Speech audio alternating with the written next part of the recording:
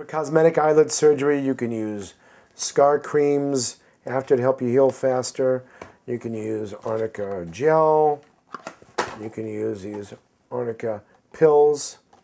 Uh, you can use especially these compresses for the bruising and the swelling. Um, also, you can use wedge pillows that are a 35 degree angle. They have those on Make Me Heal. All these products are on Make Me Heal. So there's things you can do to help you heal. Um, in addition, um, hyperbaric oxygen is a great way to heal. I also use something called platelet gel.